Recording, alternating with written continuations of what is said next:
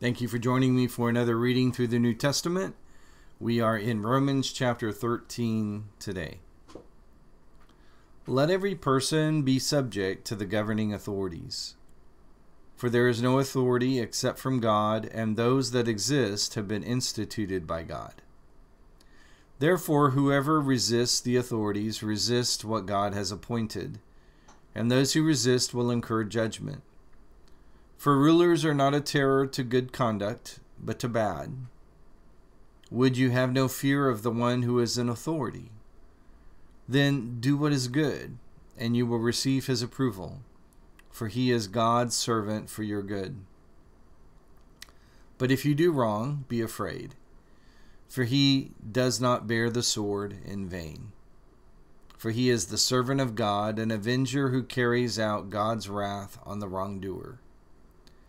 Therefore, one must be in subjection, not only to avoid God's wrath, but also for the sake of conscience.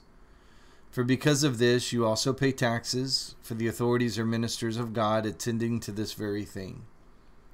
Pay to all what is owed to them taxes to whom taxes are owed, revenue to whom revenue is owed, respect to whom respect is owed, and honor to whom honor is owed.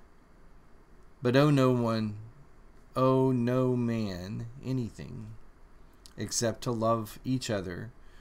For the one who loves another has fulfilled the law. For the commandments, you shall not commit adultery, you shall not murder, you shall not steal, you shall not covet, and any other commandment are summed up in this word you will love your neighbor as yourself. Love does no wrong to a neighbor, therefore, love is the fulfilling of the law. Besides this, you know the time that the hour has come for you to wake up from sleep. For salvation is nearer to us now than when we first believed. The night is gone, the day is at hand. So then let us cast off the works of darkness and put on the armor of light. And let us walk properly as in the daytime, not in orgies and drunkenness, not in sexual immorality and sensuality, not in quarreling and jealousy but put on the Lord Jesus Christ and make no provision for the flesh to gratify its desires. Making application round two in chapter 13, Paul urges his audience to recognize that they were to be responsible to those over whom they over responsible to the governing authorities, whoever they would have been. Struggling sometimes at in every generation with those words. Rulers are not a terror to good conduct, but to bad. Presumes, of course, that they're good rulers. And admittedly, there is plenty of historical evidence to the contrary. So, what is a Christian supposed to do? He tells us to recognize that we are responsible for our actions. If you do wrong, be afraid. Of course, to be afraid because, as he said, you should avoid God's wrath. But he then he said then he says, for the sake of conscience, this is why I'm exhorting you to do this. So recognize that for those of us who are Christians, the responsibility of conscience is to be law abiding as we would say, a law abiding citizen. To be the kind of person to whom people would know um, they don't want to break law. I'm not sure that this prohibits protest, but it certainly prohibits law breaking. Because we're to love each other. Verse 8.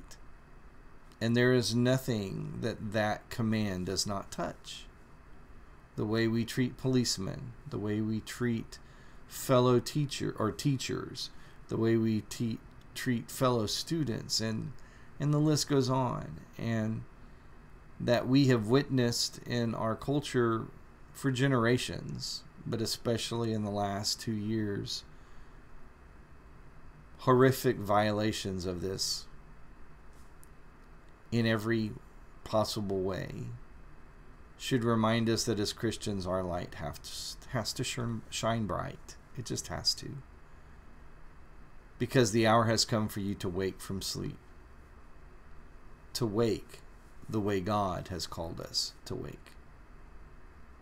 Thank you for joining me, and I hope that today's reading has made your weekday strong.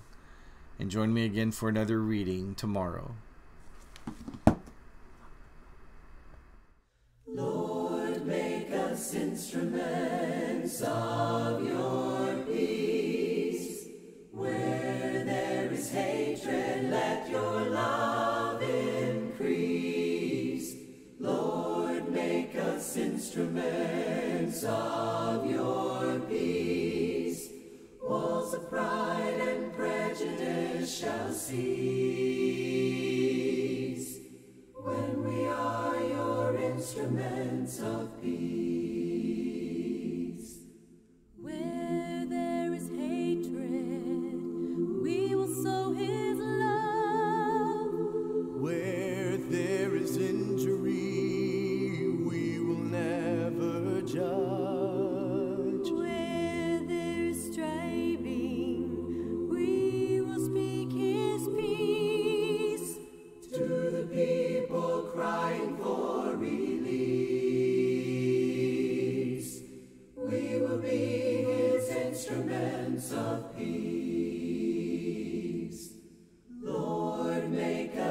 instruments of your peace. Where there is hatred, let your love increase.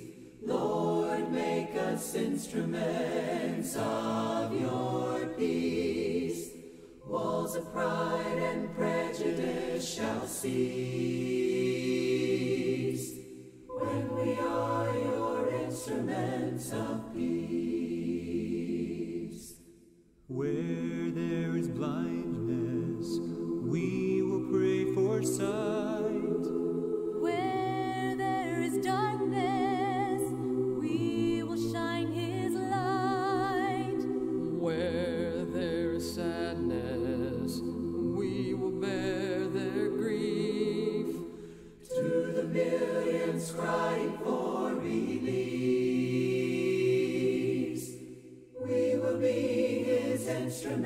instruments of peace.